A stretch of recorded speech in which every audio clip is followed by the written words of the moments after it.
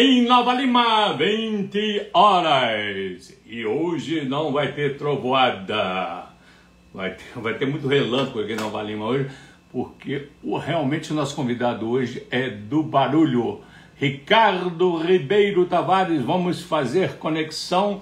Estamos aguardando a Camila, que é assessora do Ricardo, fazendo a conexão diretamente Aqui, ele está aqui. Olha lá o Ricardo. Ricardo, você está bonito. Você passou perfume, Ricardo? Fala, Paulinho. Está bonito, hein, Ricardo? De Ponte Nova para Nova... Não está em Nova Lima hoje, você está aqui no... Está tá no escritório, né? né? Tudo bem? Está me ouvindo Tudo bem? Está ouvindo bem? Tá? Está ouvindo bem? Está ouvindo bem? Bem, Ricardo, prazer. Muito obrigado por atender o nosso convite, né? Está ouvindo bem? Está tá tranquilo aí? Tá bom, melhorou aqui o som. Melhorou? Melhorou? A Camila está aí do lado? Obrigado, Camila. Tá, tá aí, Camila? Está ouvindo bem aí, Camila, também? Está tudo ok. Tudo ok. Obrigado. A Camila é nossa assessora. Bem, Ricardo, obrigado pelo convite. Não é à toa. Você atrás desse esse ar de quem não quer nada ali, você tem uma trajetória, passei a tarde inteira hoje estudando um pouquinho. A gente sempre se conhece aí pelo Oi, Oi, Oi e o nosso trabalho passa exatamente para mostrar que atrás do Ei, Oi tem muitas pessoas é, que você conhece, passam a vida dando um oi e não conhecem o, o real valor de grandes figuras como você aí. Mas o nosso valor de conhecer o DNA de cada um passa exatamente pelo nosso trabalho aqui, pela Band e aí pelo jornal O Tempo também. Bem, Ricardo Tavares, ele que é o presidente do grupo Monte Santo e do Coffee Mais, mineiro de Ponte Nova, né? Salve Ponte Nova, bons tempos lá na Jatiboca que eu passei lá. Eu nunca fui convidado para ir lá na sua, nas suas bandas lá, não. Casado atrás de um grande homem, uma grande mulher. Quem, quem, quem que é ela? Conheço ela lá no meu Pilates. Quem, quem que é ela? Isabela Tavares. Isabela. Dois filhos, quem são eles? Marcela e o Léo. Isabela, né? Isabela? Isabela, a esposa. E, e, o Léo, o filho, e a Marcela, filha. Tem netos também, não tem? Tem, quatro netinhos. Você está com medo de falar que tem neto, já é avô ou não? Oi? Você está com medo de falar que já é avô ou não? Tá não, né? Mas é, você é novo, né? né? Mas o, o, o, me diga o seguinte, cara. Você, que valores você traz aí, atrás aí é, de você, atrás de Ponte Nova, atrás de que, atrás do seu sangue aí? Que valores você traz aí, atrás dessa trajetória bacana aí, é, do seu pai, que nós vamos falar. Como é que era o nome do seu pai, que nós vamos falar da história da sua trajetória que começou cedo aí? É, o pai, meu pai, Aprígio Tavares, né? Conhecido lá de Ponte Nova. Minha mãe é Maria Mazarella. Meu pai hoje, 92 anos. Minha mãe, 82 anos. Engraçado que meu pai, toda vez que eu chego lá, lá na minha casa, que toda semana, graças a Deus, eu vou lá visitá-los, né? E toda vez que eu sento do lado dele, hoje ele tem 92 anos, senta do meu lado e fala assim, meu filho, é, como é que estão os armazéns? É um negócio que nós temos em comum entre a família, né? Aí depois ele passa assim, e você, está exportando para muitos países? Você tem muitos clientes? E toda vez que eu vou lá, é a mesma pergunta. Aí eu, eu chego e faz as perguntas. Então, que eu estou indo embora, ele faz as mesmas perguntas. Mas está ligado, tem 92 anos, é engraçado. Bacana, bacana. O, o, o, Ricardo, deixa eu só introduzir aqui é, é, um pouco que eu vou passar pela sua história aqui, um pouco da sua trajetória, mas é, um fato atual aí que introduz. Primeiro, que é exatamente o lançamento do, do Mais, né? que você, exatamente com parceiro com a família, que você, em sociedade com a família e com dois produtores de Piuí, que é o Pedro e o Rafael, acabam de inaugurar que é o Mais, né? uma marca de oferta de cafés de altíssima qualidade, somente com cafés acima de 84 pontos. Um aqui, eu ganhei um aqui, ó, ganhei lá na garagem, aqui. Está até aberto aqui, ó. Ó. Mas bacana aqui também na introdução, aqui, ó. Isso para quem está nos seguindo, olha só, gente, é um, é um mineiro assim, é, é um come quieto aqui. Você olha para a cara dele, não, Não, não, olha, olha, olha só, gente, que bacana aqui. Este ano, o Grupo Monte Santo Tavares, através das suas trades, irá comercializar 3,2 milhões de sacas de café e produzirá 100 mil sacas. E outra, outra, outra é, é, outro lado aqui, estima-se que dentro de 10 anos a colheita de plantio de magno africano de, das fazendas é, da família totalizarão 200 mil metros quadrados de madeiras cerradas. É brincadeira. Parabéns aí. Mas vamos lá, vamos começar aqui é, a sua trajetória. Você começou, você começou com 19 anos, né? E consta da sua trajetória que eu, estudei que você estudava economia e que de repente foi fazer uma viagem com o seu pai. Como é que você mudou o rumo da história? Como é que foi isso? Bem, Paulinho, vou começar aqui quando eu tinha 15 anos, né? Estudava em Ponte Nova. Saúde. E, e acabei fui, fui estudar em Ouro Preto, fiquei em Ouro Preto dois anos, mas morando em Ponte Nova. Depois de dois anos, mudamos aqui para Belo Horizonte. E meu pai já tinha vindo de Belo Horizonte, já estava morando aqui em Belo Horizonte também. E e ele era um, um, comerciante de café. Ele comprava café no interior e vendia para as indústrias aqui, aqui em Belo Horizonte. Né? E eu sempre acompanhei meu pai quando eu pude, né? Sempre quando eu tinha tempo, eu sempre acompanhei, desde mais novo, desde os 10 anos, quando meu pai viajava, viajava com ele. Aos 15 anos, sempre a oportunidade que eu tinha nas férias, estava sempre viajando com meu pai. E desde, quando eu estava aqui, quando eu saí de Ouro Preto e vim morar em Belo Horizonte, aos 17, 18 anos, eu comecei mais a acompanhar meu pai. Aí fui para o Colégio Pitágoras, foi, foi, tive o terceiro ano científico lá, e depois fui fazer a universidade. Fui estudar, passei na Newton de Pava para o curso de Economia. Então, eu fiz com Economia durante um ano, administração de empresa, depois de Economia, por um, um período de um ano. Eu troquei de curso, não estava gostando muito de Economia, fui para administração de empresa. Mas quando eu tinha 19 anos, meu pai resolveu fazer uma viagem para o norte de Minas, para o nordeste do Brasil. Foi visitar o Maranhão, foi visitar o Pará. O que, que foi fazer? Foi vender café. Mas como ele ia fazer uma viagem longa, ia fazer uma viagem de 20 dias, eu fiquei com dó do meu pai viajar sozinho. Falei assim, não, meu pai, eu vou com o senhor. Bem, nisso eu tive que largar a escola por, por esses dias, né? eu fiquei afastado. Que, o dia que ele resolveu vender, resolveu viajar, coincidia com, a, com minhas aulas. Bem, eu fui, gostei tanto da viagem, gostei dos negócios, acompanhando ele, convivendo aquilo 20 dias. Quando eu voltei, eu falei assim, ah, eu não estava gostando muito do curso, falei assim, ah, meu pai, eu vou ficar com o senhor, vou acompanhar o senhor. As indústrias que o senhor vende são as, são as maiores eu vou fazer as indústrias menores, vou comprar café junto com o senhor e vender café. Então, meu pai fazia as indústrias grandes aqui. E você continuava, né? Aí, aí você ficou em Ponte Nova. Aí você ficou em não. Não, isso eu já estudava. Eu já estudava em Ouro Preto, meu pai mudou para cá e eu mudei para cá também. Né? Eu, eu fui morar até os 15 anos, até os 15 anos eu morei em Ponte Nova. Tá. Depois dos 15 anos fui estudar dois anos em Ouro Preto, de Ouro Preto eu vim para cá, para Belo Horizonte. Né? Aí estudei aqui no Pitágoras, acabei de formar no Pitágoras, e depois fui fazer a universidade do meu outro pai. Mas larguei o curso no primeiro ano, depois que eu fiz essa viagem com meu pai. E meu pai vendia, o maior cliente dele era Café Três Corações. Mas naquela época o Café Três Corações entrou quase num processo de falência. E nós não tive, nós tínhamos outra solução. E eu, junto com meus irmãos, o Ronaldo, a Liliana, a Tina, o Zezinho, meu cunhado, é, acabamos todo mundo indo para Café das Corações, porque acabou que o pai adquiriu o Café das Corações, uma situação muito ruim, entendeu? Quase falência, mas graças a Deus nós trabalhamos muito e conseguimos virar essa página, entendeu? Ficamos lá em 84. Né? Vocês eram os principais credores né, do, do, do, do café. O quê? Repete vocês, de novo. Vocês eram os principais credores né, do, do, do, do café. Paulinho, não escutei. Ah, o, o som dele. Vocês, é, é, o, o, o, café devia a vocês, não é isso?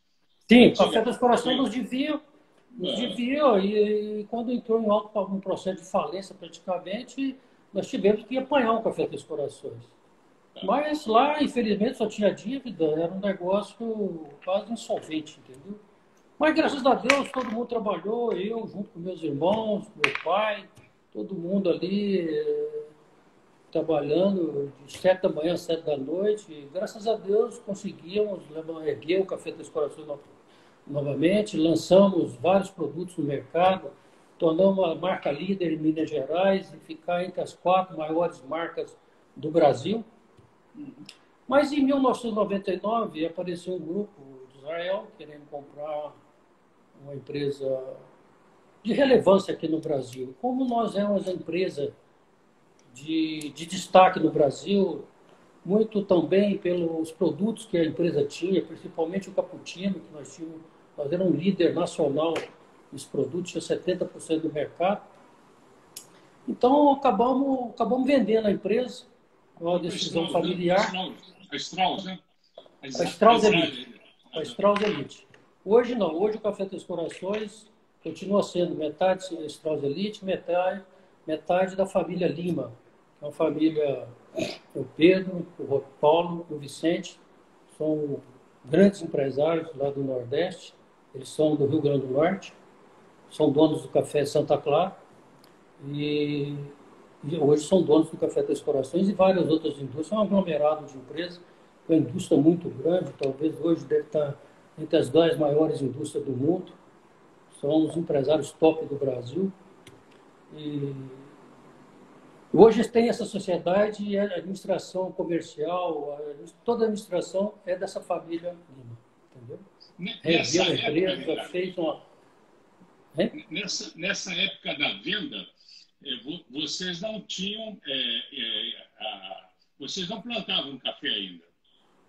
Não, eu, eu nunca, meu pai teve indústria em 1953, né?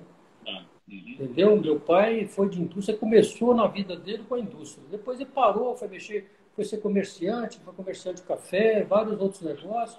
Mas indústria de café não voltamos a ter em 1984 com o Café Três Corações. Não eram da indústria, eu nunca tinha trabalhado com indústria de café.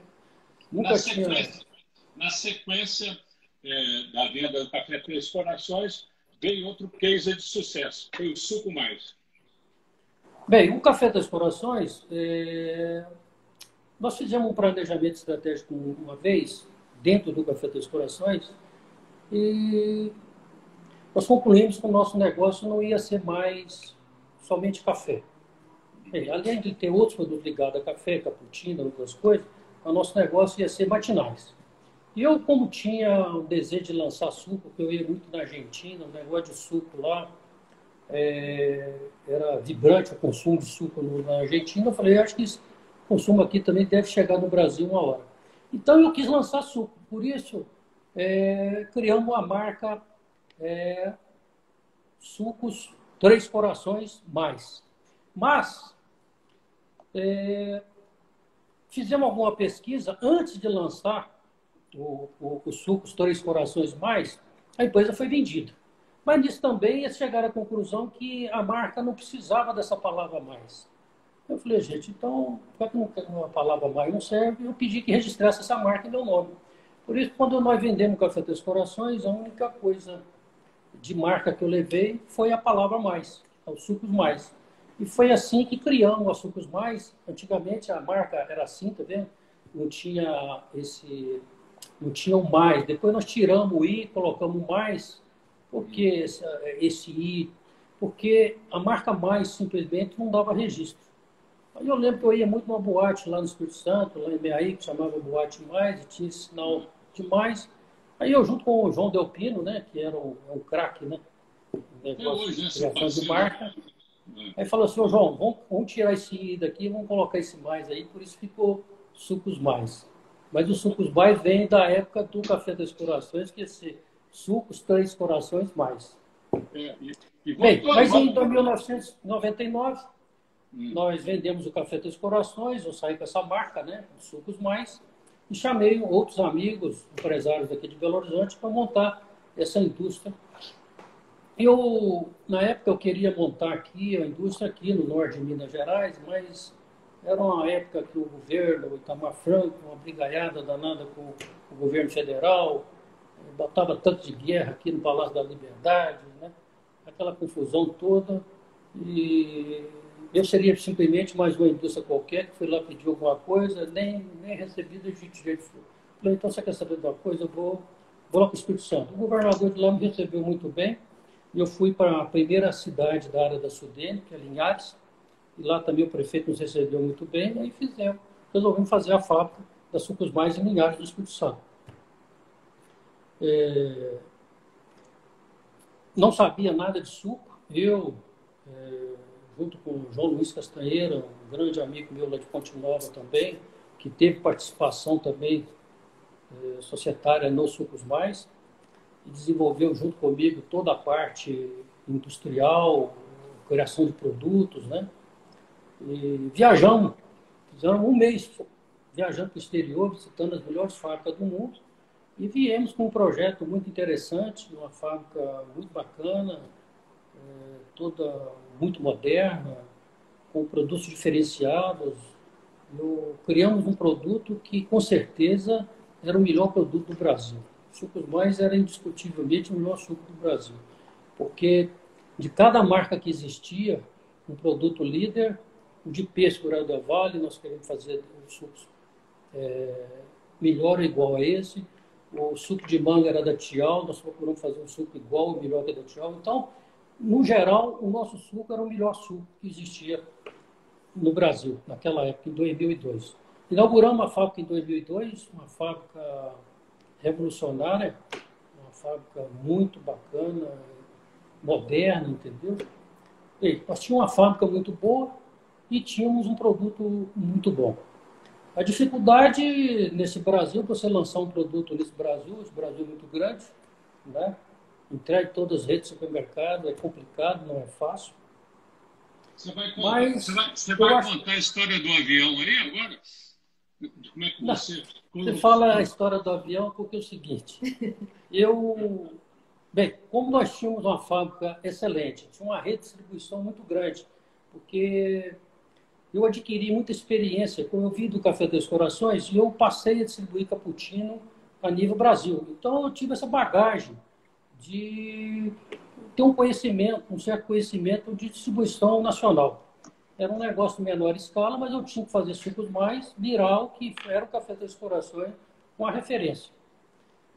Mas, para me lançar suco, eu comecei a fazer degustação nesse Brasil todo. E o Brasil todo é muito grande, né? O que, que eu fiz? Falei, gente, eu acho um jeito mais fácil de degustar os produtos seria eu estar nessas empresas aéreas, porque lá, se eu vou para o supermercado, eu tenho que dar o um copinho, eu tenho que pagar a moça para degustar, tenho que fazer balcão e tenho que dar o produto. Se eu for para aviação, até só era uma moça bonita servindo suco. Eu, eu vendo suco, não dou copinho, não dou nada, tem a moça servindo suco, é uma forma de eu divulgar isso no Brasil inteiro. Então eu pensei, gente, eu vou focar né, das empresas aéreas. Aí, cada empresa aérea, eu não conhecia ninguém de empresa aérea, zero, eu conhecia. Né? É, nós tínhamos comprado um helicóptero dois anos atrás, né, naquela época, nós tínhamos um helicóptero, mas não entendia nada de aviação, eu simplesmente andava de helicóptero trabalhando e pronto, só isso. Mas aí eu falei assim, como é que eu vou chegar nesse pessoal? Eu comecei a procurar pessoas que talvez conhecessem alguém de, de, de aviação. Umas empresas grandes no Brasil, ninguém era aqui de Belo Horizonte, né? Eu procurei amigos meus e, por coincidência, primeira porta que eu bati foi da Gol. Por que, que foi na Gol? Porque eu conhecia o Antônio César, da Geloso, Pizzaria Magabeiras, ele morava em Miami. Ele é um cara muito amigo. O pai dele morava lá, né? É. Como é que é? O pai dele morava lá em Miami. Né? Não, o Antônio César pai. Eu era muito é, amigo dele. Pai, ao pai, é. Ele morava lá em Miami. Um dia eu liguei para ele e falou assim, Antônio César, você é um cara muito conhecido, conhece muita gente no Brasil, você não conhece ninguém aqui de empresa aérea, não? Só estou precisando botar um suco na, na, nessas empresas aéreas aí. Não, cara, eu sou muito amigo do Júnior da, da, da, da Gol. Ele passou aqui essa semana, ficou aqui em casa, aqui em Miami, aqui, veio aqui comprar, não sei, 20 jatos aqui nos Estados Unidos. Eu falei, rapaz, me dá o telefone desse moço, me ajuda aí, rapaz. Não, cara, com facilidade eu vou te botar em contato com ele, porque o meu filho é casado na mesma casa dele. Bem, ele me deu o telefone, botou em contato com o Júnior. Eu mandei suco para a família dele toda, né?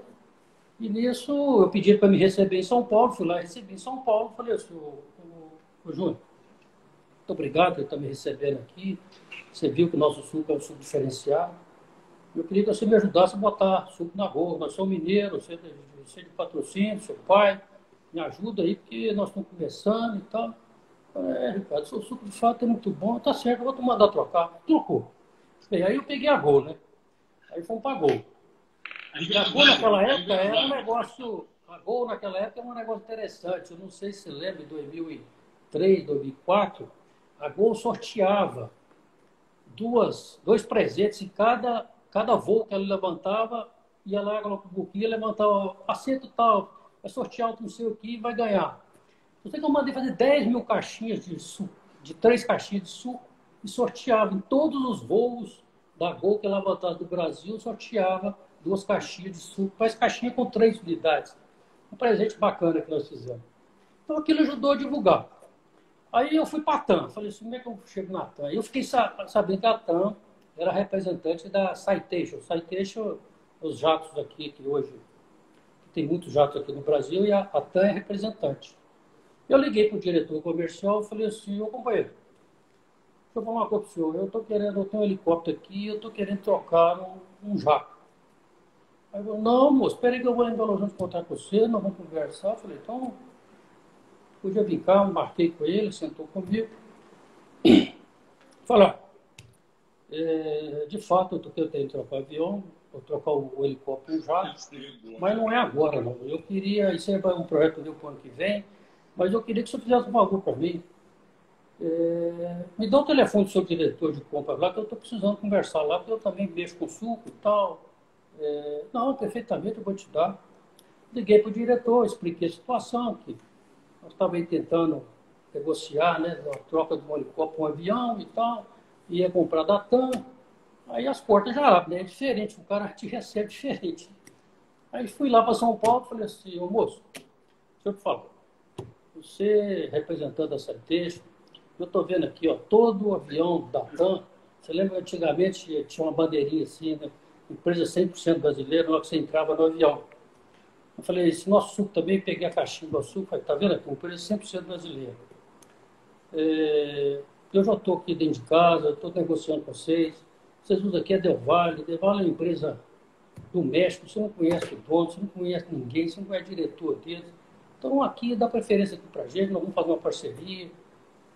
Aí, ah, deixa seu suco aqui, vamos fazer um teste e tal, fez um teste. É, tem sentido também. Aí trocou. Aí também passei, aí já era gol e a tampa. Faltava a Varig. Faltava, faltava a Varig. Faltava a Varig. Aí a Varig naquela época não estava pagando ninguém. Pelo menos atrasava, quando, quando pagava, pagava 90 dias. Eu falei assim, eu também tenho que entrar nessa Varig, porque a Varig, se não me engano, naquela época ainda era maior que a TAM e que a Gol junto. Era uma grande empresa na época. Estava em processo de, falência e tudo, aquele negócio todo, mas era uma grande empresa. Né? Eu falei assim, eu, eu, vou vender. Aí você foi para o Rio. Né? Aí eu fui no risco, né? Eu falei assim, eu vou vender isso para a Varig aqui. Se eu, se eu não vender para eles e ter o risco de receber ou não, eu vou ter que ir para o supermercado, dar o copinho, dar o suco, ainda pagar a moça para dar o suco. Eu vou vender isso aqui, eu vou, eu vou no risco aqui. Não é que eu vendi, rapaz, e recebi tudo. Eu recebi com 90 dias, mas recebi. Então, assim, em pouco tempo, eu estava das melhores empresas aéreas do Brasil. Né? Pelo menos 90% dos voos era tudo suco mais. Aí foi fácil, foi ter uma, teve uma facilidade, porque, de fato, quem tomava os sucos mais é, mudava para sucos mais, porque era um produto diferenciado. Né? Tive uma sorte também muito grande. É, o Ricardo Emanuel foi disputar o primeiro campeonato mundial de vôlei de praia do Brasil. Pois é, é, é, é foi outra jogada de marketing bacana. Do, do, é. do, teve, teve a do vôlei do, é, da, e da, das barracas de praia também, né? Foram duas ah, jogadas. Né? Vou contar aqui primeiro a da, a da o, o, o, o, Mário Moreno está nos acompanhando aqui. Tem umas imagens, depois vou passar aqui também. Mas está interessante aqui. Está ótima. Está ótima a história. A, a, a empresa, a, Adriana, que era jogador de vôlei, ela era. Ela era. Como é que fala? A pessoa que representava, era procuradora deles, do Ricardo Emanuel. Mas naquela época ninguém os conhecia, não. Então, esse campeonato é, é um, era o campeonato para o Brasil, né? que foi disputado no Rio de Janeiro. Tá e ela não procurou um valor. Um valor. Não, pode continuar. Um valor, um valor muito pequeno, nos procurou para ver se a gente patrocinava. Eles não, tava, assim, eles não tinham patrocinador nenhum. Foi o Roberto Gozete, que era o diretor comercial, diretor de marketing da empresa, né? A gente, tá lá no IPA. Amigos nossos aí. É, me procurou e falou assim, Rogério, ó, Rogério, Roberto, eu acho que vale a pena, né? Porque um, esse, esse campeonato é um negócio de relevância para o Brasil. Vamos arriscar aqui, já que não é muita coisa. Bem, nós acabamos patrocinando, ele ia todo amarelinho, suco mais na, na camisa, na, na, na, no short, no braço, no boné. Ele era todo amarelinho, escrito Coffee Mais. E não é do. E não é, rapaz, que o pessoal, esse menino foi, foi, foi, foi, e ganharam o campeonato, rapaz. Então, ele tinha uma audiência, você precisa ver a quantidade de vezes que nós saímos no Jornal Nacional, nos jornais, eles iam dar entrevista, porque eles foram subindo categoria, aquilo demorou dias, né? E acabou sendo campeão mundial aqui no Brasil, com todo o uniforme dele todinho era sucos mais. Aquilo dá uma projeção muito grande. Outra coisa também que nós fizemos, né, além de degustar nos, nos, nos, nos nas empresas de aviação, eh, ter esse patrocínio desse que dá uma repercussão muito grande desse pessoal do, do, do vôlei de praia. Uma coisa que a gente trabalhava muito em cima era degustar produto um final de semana, dando suco naquelas praias, principalmente do Rio de Janeiro, do Guarujá. Era muita Você coisa. Eu mandava, né? mandava uma equipe muito... grande para lá e botava gente com sombrinha. Naquela época, Del Valle botava sombrinha. Nós queríamos tirar uma sombrinha do Del Valle, dava duas da nossa, entendeu? E aquela confusão. Onde, é, tem uma vez que eu mandei um carro sair do Rio de Janeiro, trocando a sombrinha toda do Rio até Cabo Feio. Todo, o cara me dava sombrinha do Del Valle, eu dava duas novas para ele, da Superboy. Então nós enfeitamos esse Rio de Janeiro todo de sombrinha. Era aquela sombrinha amarela escrito Sucos Mais, nas praias do Rio, na praia de, de, de, de esse litoral carioca aí era só suco Mas então, foi certas coisas, coincidências, mas de fato os sucos mais é, é, foi um grande sucesso, não foi por acaso, entendeu? Nós tínhamos uma excelente fábrica, tinha uma excelente distribuição no Brasil, muito, uma equipe muito muito grande aqui, de, de, vendedores aqui, principalmente na região aqui de Minas Gerais e do Espírito Santo, que nós tínhamos uma liderança absoluta aqui. Isso tudo nós fizemos com dois anos, exportava, chegamos a exportar para 15 países, para o Japão, para, para Angola, para é, vários, para os Estados Unidos, América Central. Então exportávamos para 12, 12 países, isso tudo nós fizemos em dois anos. Mas nesses dois anos chamou muita atenção da Coca-Cola, da Pepsi-Cola e da Compal, Paulo é um país de Portugal e nós dávamos muito trabalho para ele lá em, na ilha de Cabo Verde e também em Angola. Eles eram líder absoluto lá, ninguém incomodava, e nós chegamos lá com sucos mais, dando trabalho danado para eles. Então isso chamou muita atenção da Coca-Cola, da Pepsi-Cola e dessa Compal. Então aí chegamos num processo de, de, de venda e quem levou foi a Coca-Cola, né? e vendemos. Nisso aí criamos a, a, a, a fábrica de polpa, né? Pois é, a, a, e Tropa Brasil. A, a, Tropa Brasil uma fábrica de polpa. Tropa Brasil, ela veio quase na sequência, né? A fábrica foi em frente à, à, à Top Mais, né? não é isso? Como é que é? A Trop Brasil, ela foi, veio na sequência né, da, da do suco mais, é. né? E foi vendido após, rapidamente também, né? É. Após a venda do, do, do, do, do da, da Sucos Mais, nós fizemos um contrato com a Coca-Cola que nós íamos fazer a fábrica de polpa para abastecer a fábrica. Aí nós tínhamos um contrato de 10 anos de exclusividade, que nós íamos fomentar a produção de maracujá no Espírito Santo, de manga. Então, acertamos isso também. Em 2005, começamos a fábrica, já eu já, eu já tinha vendido a fábrica. Em, três, em cinco anos, nós fizemos a fábrica, levamos dois anos para fazer, com mais três anos que nós operamos a fábrica, vendemos para a Coca-Cola. Aí criamos a, a Troca Brasil. A Troca Brasil é uma fábrica de coco que também ficamos com ela, eu não sei se foi três anos ou quatro anos, também vendemos para Coca-Cola. Bem, feito isso tudo, voltei, é, meu negócio passou a ser Belo Horizonte de novo. Aí reativei, é, reativei a empresa Atlântica, uma empresa de exportação de café que nós temos. Hoje nós temos três trades, o grupo. É, Cafebras, Atlântica e a Lycoff. A Lycoff é uma empresa que nós temos no exterior, na Suíça. Uma empresa especializada em cafés especiais que compra café do Brasil, principalmente das nossas fazendas, somente cafés especiais, e compra muito café também da nossa própria empresa Cafébras, e distribui para as principais cafeterias do mundo. Ela compra café da América Central também, compra café da Etiópia, café da Colômbia, e distribui para, as principais cafeterias do mundo. E tem a Atlântica aqui, que é especializada em cafés comerciais, e tem a Cafébras também, que a origem dela é de patrocínio, que compra muitos cafés também especiais para vender, não só para lá, mas para, para outras empresas trades no mundo especializadas em cafés especiais. São, são então, esse é um lado. Com mais de 84 pontos, não é isso? Você podia como é que é? São cafés com mais de 84 pontos, não é isso? Como é que, como, como é que você eh, Sim, explica a, isso para o leigo? A, a, a, especialidade, essa pontuação? Ela, né? a hum. Lai, a, a Lai hum. Coffee, hum. que é essa empresa que está sediada na Suíça, que tem escritório em outros lugares também, principalmente nos Estados Unidos.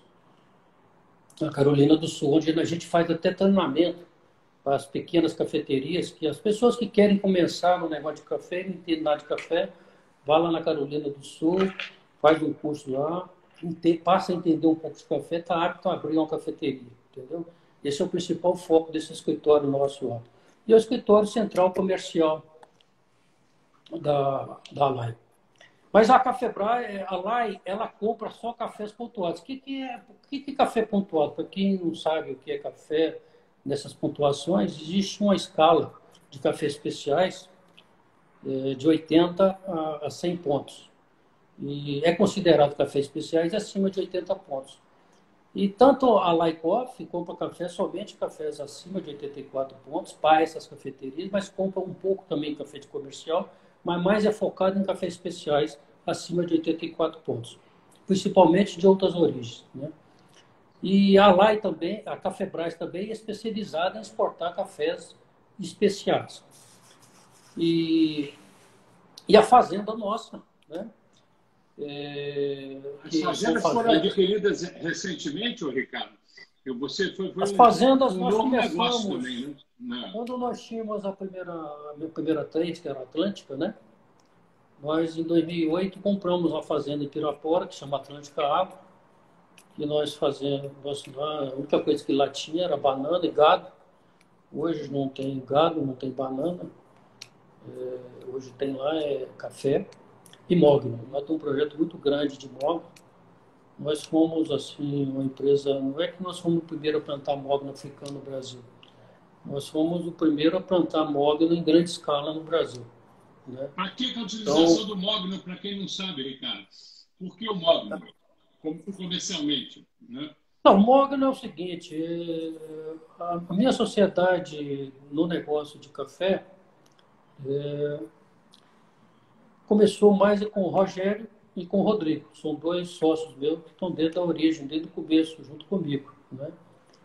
E eu, quando nós compramos essa fazenda, essa fazenda era uma fazenda de 3 mil hectares, eu falei assim, eu, eu sempre gostei de madeira, que quando eu tinha 18 anos também, meu pai, na época de férias, me mandou lá para o Pará comprar madeira, eu fui para lá comprar madeira, aprendi a gostar de madeira, entendeu? Então eu comprava madeira no Pará e mandava para vender aqui em Belo Horizonte. Na época de férias eu ia fazer isso. Né? Então aprendi a gostar de madeira. E quando compramos essa fazenda, Eu falei com o meu sócio, o Rogério Rodrigo, falei, ô Rogério, vamos plantar aqui uns 50 hectares de madeira, que eu acho que é um negócio interessante, um negócio assim, feito a fazenda, um negócio bonito, e um negócio que. um negócio de futuro. Quando eu falei que ia plantar 50 hectares de café, de, de, de, mó, de madeira, apareceu vários engenheiros florestais falando comigo, planta isso, planta aquilo, planta isso, planta aquilo. Eu falei assim, rapaz, eu vou fazer o seguinte, eu vou fazer uma viagem para o Mato Grosso, vou fazer uma viagem para o Pará, para me saber, de fato, qual madeira que eu vou plantar, qual madeira deve ser mais rentável. Então eu peguei é, dois amigos meus agrônomos, peguei mais um amigo meu, fomos fazer uma viagem para o Mato Grosso e para o Pará. E lá eu fui vendo, vendo, fui ver teca, fui ver mogno, fui ver outras madeiras, né? E cheguei à conclusão que eu tinha que plantar mogno africano. Porque eu vi, eu vi projetos mais antigos, com cinco anos, com oito anos já de plantio, eu cheguei à conclusão que essa é a madeira do futuro. Eu achava que é uma madeira muito bonita. Por quê? Porque é uma madeira que ela, o mogno no Brasil, o mogno nacional, sempre foi a madeira mais valorizada no Brasil. Mas em 2002 foi proibido o corte dessa madeira. Mas até 2002 era a madeira mais exportada do Brasil e era a madeira mais valorizada no Brasil, por da beleza natural da madeira. E o mogno africano, que é da mesma espécie, é, era uma coisa muito parecida, era uma coisa nobre. Como eu vi que o crescimento é uma madeira muito bonita, o crescimento é muito rápido, é uma madeira nobre, falei, então eu vou plantar mogno. Aí eu voltei para Pirapora, mas aí eu fui com a ideia de plantar 50 hectares e acabamos fazendo um projeto de 500 hectares irrigados de mogno lá, nessa fazenda. Tudo é mega, E né? hoje, Hoje já está, algumas árvores já estão com 11 anos, entendeu? É, mas devo, a gente deve cortar essa madeira com 18, 20 anos. Mas a vantagem de, de plantar madeira é um negócio bonito, é um negócio que quanto mais velho, melhor. Então, a árvore, quanto mais velha, mais valor ela tem. Então, se você não cortar com 20, você pode cortar com 25, com 30, ela vai só se valorizando, entendeu? crescimento é muito mais é muito mais rápido depois que ela atinge uma certa medida. Então, mas aí eu convenci esses sócios meus a ir aumentando o projeto. A primeira coisa que eu fui na fazenda, que quem quiser ir lá ver, está tá aberta a visitação. Eu faço... Aliás, eu fiz para mostrar para as pessoas que nem todo mundo tem a disponibilidade de fazer o que eu fiz. Pegar, ficar 15 dias viajando para o Pará e para o Mato Grosso para ver o que, que vai plantar. Então, quando eu cheguei aqui na fazenda, eu, a primeira coisa que eu fiz foi um campo experimental, para mostrar para as pessoas por que, que eu estava plantando módulo. Então, eu plantei módulo junto com o TEC, módulo junto com o cedro, módulo com 10 tipos de árvore diferentes para mostrar por que, que eu tinha escolhido um módulo africano. Então, você vai, se for chegar lá na fazenda hoje, você vê várias árvores plantadas junto com o módulo, você vê que o módulo desenvolveu muito mais rápido. Então, esse foi o objetivo, fazer. Antes de plantar, antes de fazer um qualquer plantio, eu fiz um campo experimental, entendeu? Então, é um projeto muito bacana lá hoje. Nós Não, não temos. Tem da família 70, está quase chegando no, final, aí você tem no lançamento do, do COP. Aqui, eu só, aqui tem um COP. Uma, uma, uma curiosidade aqui, eu estou guardando aqui depois para mandar um cafezinho para a gente. Por que, me explica por quê. Aqui, aqui, ó. No lançamento aqui, você explicou para quem estava lá presente, é, aqui no café da manhã, que vocês não vão ter uma concorrência é, em lojas. Vai ser só no e-commerce, o, o coffee, que é o, o, o, especial que vocês estão lançando. Né? É, por, por, que não vão, ao contrário da concorrência? Qual é a estratégia de vocês do lançamento do Coffee Mais? Né? E, e, é, um lançamento, é um lançamento nacional também, Ricardo, né? Acho que pode sair da família no lançamento. Pode, pode poder soltar. É, o, o Coffee Mais, aliás, a palavra Coffee Mais veio da palavra, veio da época dos sucos mais. Eu acho que eu gostei tanto dos sucos mais, eu achei um sucesso tão grande que eu falei assim. Aí, os sócios, é, né? Eu podia lançar Coffee Mais. sócios, né? Aí, ó. É? Essa foto aí são de sócios, né? Sou eu, não. Essa foto aqui de cima sou eu, Isabela, minha Você, esposa. É, eu tô vendo de O Léo, meu filho, e a Marcela. E a Marcela, esposa dele. Aqui, ali, aqui são os filhos, aqui é isso, né? É. é. Já passou isso aqui? Não, ainda não. não. Pode passar aí, deixa fazer uma leitura. Mas vai falando aí enquanto ele vai passando essas fotos aí. Bem, mas aí o Léo, meu filho, o Léo, há pouco tempo atrás, era o CEO daqui das fazendas, né? tomava conta das é. fazendas, porque ele com a ideia de lançar, fazer um negócio diferente, lançar, ele sempre gostou muito de cafés especiais, então, é, e quem acostuma a tomar café especiais apaixona por café especial, sabe? Isso é, café é muito parecido com vinho, sabe? E quanto mais você vai evoluindo, na, tomando mais cafés, café diferenciado, mais você vai entendendo daquilo, você vai se apaixonando por café, sabe? É um negócio diferenciado. Negócio de café especiais é outro nível de café que a pessoa tem que, até que aprender a tomar. Porque café especial, principalmente esses cafés que nós lançamos, são cafés suaves, sabe? É, café que você é mais um pouco adocicado, são cafés que você nem precisa de açúcar. Então, é um negócio diferente. E nós quisemos, e o Léo, com a vontade, ele tem dois grandes amigos lá, que é o Rafael e o Pedro, lá de Que são pessoas ligadas à cafeicultura também, que a família são cafeicultores. O Léo, com o intuito de querer fazer esse negócio diferente, queria fazer essa sociedade com ele, eu falei assim, meu filho, então fazer o seguinte, vamos, vamos fazer um negócio diferente, vamos, vamos lançar através do e-commerce. Não é que eu não quero vender para supermercado, não é isso não. Existe até dentro do nosso negócio do e-commerce, né, se a pessoa comprar uma caixinha, vai ser entregue na casa dele, em qualquer lugar do Brasil. Mas também nós temos desconto especial para grandes volumes, para uma cafeteria, um restaurante, bares, eh, padarias, supermercados que quiserem comprar, tem um desconto diferenciado. Mas não é, eu não tenho um departamento comercial, eu não tenho degustação no supermercado, é um negócio diferente, sabe? Porque eu acho que, graças a Deus, eu me dei bem, tanto o Café das Corações como como Coffee Mais, como Sucos Mais, mas foi um negócio muito sofrido, porque é, vender nesse Brasil todo não é fácil, esse Brasil é muito grande, bater na porta de todo mundo, oferecer, igual fiz, os sucos mais, não é fácil. Eu não queria passar por isso novamente. Como, através do e-commerce, eu sei que é, tem condições de lançar produto hoje, inclusive, né? lá na minha casa, quando nós fizemos o lançamento agora, estou fazendo uma semana, fazendo nove dias hoje, né? Nós, aí eu peguei o microfone lá uma hora, peguei para falar, eu falei assim, gente, engraçado, é, quando a gente inaugurava uma fábrica, pelo menos a última fábrica que eu fiz, a Sucos Mais, é, chamava o prefeito da cidade, chamava vereador, chamava governador, chamava senador, chamava deputado, chamava o pessoal do supermercado, fazia aquela festa toda, uma dificuldade nada para lançar esse produto nacional. Hoje, você aqui, fizemos um encontro lá na minha casa, não podia ser muita gente, mas todo mundo que estava ligado diretamente ao lançamento desse produto, as pessoas ligadas aos blogs, o pessoal da comunicação digital, estava todo mundo lá, o pessoal das agências, né? Inclusive, eu queria agradecer aqui, é, são várias é, pessoas que nos ajudaram muito, sabe?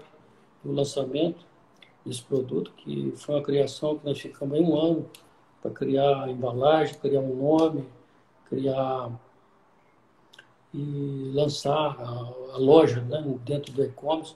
Não é fácil lançar um produto desse a nível nacional e graças a Deus estão tendo bem resultado. Está apenas começando, né? Todo começo é difícil, não é fácil, né? Esse aqui é meu pai. Olha, cima lá. 92 anos. Esse baixinho não é fácil, não. E aí, conta aquela história de novo, né? Como é que é, como é, que é a história? Ele está vendendo? Como é que é? História de? Repete. Repete, Paulinho. A história que ele conta, você falou lá no início, a história do seu pai. Como é que é? Está vendendo muito? Ah, não.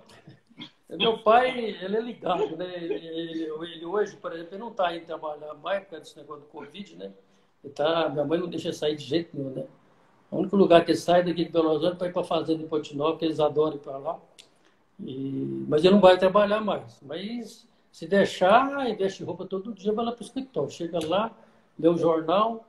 Mas ele encontrou comigo porque eu não fico no mesmo escritório dele. Meu pai meus irmãos ficam no escritório ali em cima e eu fico no outro escritório aqui perto deles. Mas quando eu encontro com meu pai, quando eu encontro lá no escritório, eu vou na casa dele, primeira coisa que eu sento lá dentro, como é que estão tá os armazéns? Porque, negócio de armazém, eu expliquei um negócio que a gente tem da família, que armazena café para produtores, exportadores, faz rebenefício, né? prepara café para exportação. Esse negócio é junto com a minha família. Quem então, é esse vai Quem é o pai? É o pai também. É, o Pris Tavares. Acho que eu estou precisando botar um então, Aí ele chega... Ah, que figura. Filho, como é que está o movimento dos armazéns? Falei, tá bom, está cheio os armazéns. Não, pai, está enchendo. Mas ele não sabe quando é safra, quando ele é safra, ele não sabe se está vazio, se está cheio. Se Ele está sempre explicando para ele. E ele está assim, e aí, e na exportação, como é que está? Você está vendendo para quantos países? Você está fazendo isso, você está fazendo aqui. Falei, não, pai, nós temos muitos clientes, nós temos cliente grande, tem cliente pequeno, exportamos para mais de 40 países e tal. Então ele fica numa felicidade danada, sabe? Se deixar, ele fica aí conversando o tempo todo sobre como é que está a armazém, como é que está os negócios de café. Sabe? É impressionante que tem 92 anos. Né? Isso, saúde. Deixa eu ver com mais se tem mais alguma foto antes da gente terminar aqui. Pera, tem mais alguma imagem? Isso aí, o netinho mais novo é o, é o Pentinho, ah. o Bento. Filha da minha filha Marcela e Luiz. Olha aí, ó. Olha aí. Ah, esses aqui são os quatro aí, ó. Toninho, Vicente. Matias e o Bento. Esses aí são os príncipes. Quatro homens, Agora tem que trabalhar mais ainda, tem que trabalhar dobrado. Você não é cria? Você, você é pai, é avô coruja? Ah, esse netinho, rapaz, tira a gente do cérebro, esses bichinhos estão bonitinhos demais. Esse bichinho tá bom. Ô, querido, aqui, valeu. Agora, terminando aqui, ó, eu estou vendo aqui um recorde de, de público aqui. É, terminando aqui, nós vamos colocar no, no IGTV, não é isso, Mário? Isso. Imediatamente é, posteriormente no YouTube, não é isso? Sim. Né? E agradecendo a vocês aí, também a nossa turma aqui, a Sabrina, o Alexandre. Foi muito boa aqui, uma audiência muito bacana e acho que engrandece aqui a nossa turma aqui também. E o nosso objetivo é trazer, é, sobretudo aqui, é, conteúdo e assim tem sido durante toda essa pandemia e você só engrandece, você a sua família aí, é, gente que faz e acontece, que é o nosso, nosso lema aqui. Muito obrigado, parabéns aqui e estamos juntos aí, viu? E essa, vou depois transcrever aqui algumas perguntas que fizemos aqui para o Jornal o Tempo, que é nosso parceiro aqui também, viu? Fiquem com Deus, saúde para todos aí, boa noite e vamos tomar um golinho aqui. Obrigado. Quem foi? Quem foi? Quem foi, Bayern? Né? Um grande abraço Beijão. Saúde. Saúde. Olá, Paulinho. Saúde. Tchau, Abração. tchau, tchau. Tchau, tchau. Obrigado. tchau, tchau. Vou tirar foto ali, cara.